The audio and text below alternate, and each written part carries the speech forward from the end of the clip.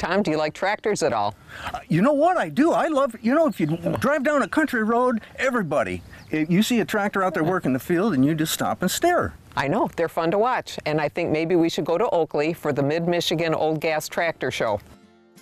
The annual Mid Michigan Old Gas Tractor Association show in Oakley welcomes families to one of the biggest, busiest, and best antique tractor shows in the Midwest on the third weekend of August.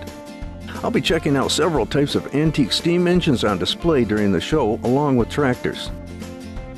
I'm wondering how these lumberjack gals will fare in the crosscut saw contest. It takes a lot of strength and timing to cut through the log like butter. It'll probably take all three days to check out the more than 1,800 registered tractors at the show.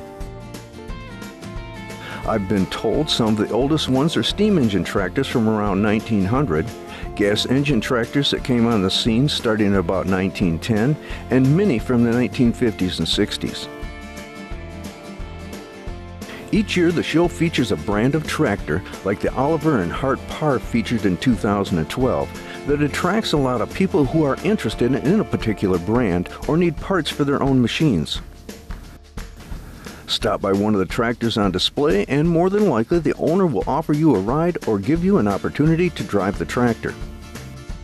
Or you can tour the vast acres of displayed tractors and machinery in one of the comfortable tractor driven people movers. There is great competition at the tractor pulling event where all participants are cheered on by the crowds. It's time for me to take a look at the sawmill powered by a tractor engine. I'd like to borrow one of these contraptions to get my winter wood cut in a short time. There are dozens of buildings on the grounds to house numerous resident display items.